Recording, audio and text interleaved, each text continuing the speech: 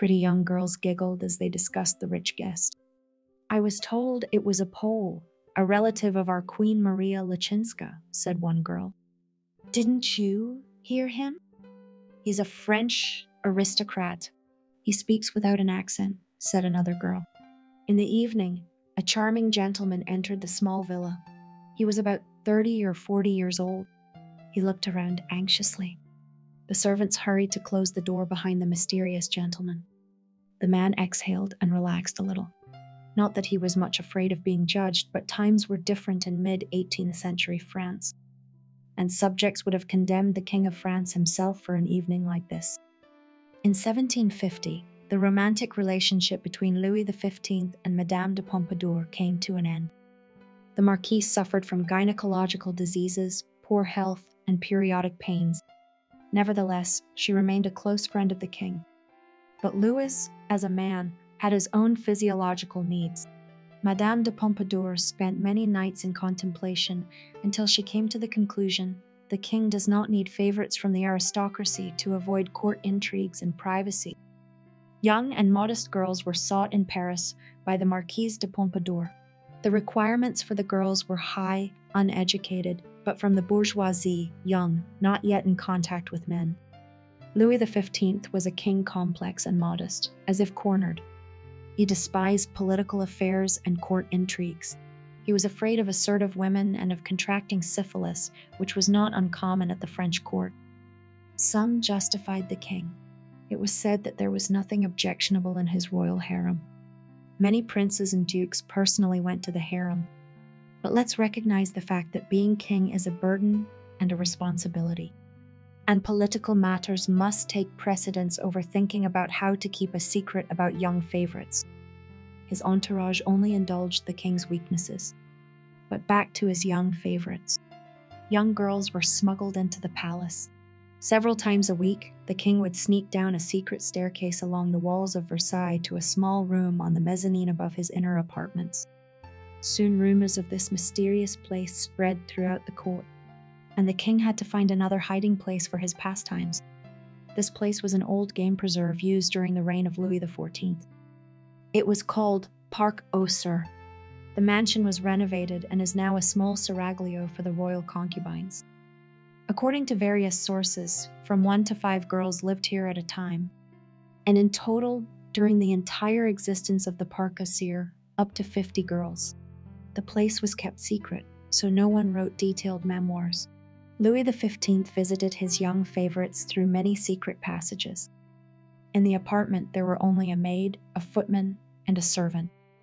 Occasionally, the Marquise de Pompadour's maid would go into the Parc aux Cerfs to see if the girls needed anything. Some of the minions didn't even know who their guest was. Others, more astute, quickly guessed that it was the king himself. The families of these girls voluntarily gave their daughters to the royal harem for a generous reward. Pregnant girls were cared for and then given a generous dowry. Many then married successfully, their husbands turning a blind eye to the child and the woman's past because of the impressive amount of money. And Louis XV himself, unlike Louis XIV, preferred not to legitimize his illegitimate children. The girls at the Deer Park ranged in age from 14 to 25. Louis XV preferred younger favorites, but a girl who was too frightened embarrassed the king, and she hurried to end the evening. A golden mean was needed. Two girls from aux Cerfs are well remembered in the pages of history the Irish Louise O'Murphy and Anne Couppier de Romance. One day, Louise wanted to take the place of the Marquise de Pompadour, and the next morning she was thrown out of aux Cerfs for speaking rudely to Pompadour. Louis XV did not want any of his young favourites at court. Anne Couppier de Romance also got into Parc aux with the help of Giacomo Casanova. Louis called her my great and beautiful. Anne had dark hair, very white skin, beautiful eyes, and a graceful, slender body. She reminded Louis of the young Marquise de Pompadour. Anne was always smiling. She had snow white teeth. She would invent something new for the king to take away his melancholy. Anne de Couppier then lived in a separate house in Passy because she refused to live like a concubine in a Parc aux Cerfs. She soon became pregnant. Louis legitimized their newborn son, registering him under the name Louis de Bourbon. Her baptismal certificate was forged in one of two registries with the desire to make Anne a noblewoman. The king granted her the title of Baroness de Meilly Coulonge. This was not enough for Anne de Romance. She became arrogant and haughty, dreaming of more, of becoming the new official favorite. She had youth, beauty, nights with the king, and a child. How could she be worse than the Marquise de Pompadour?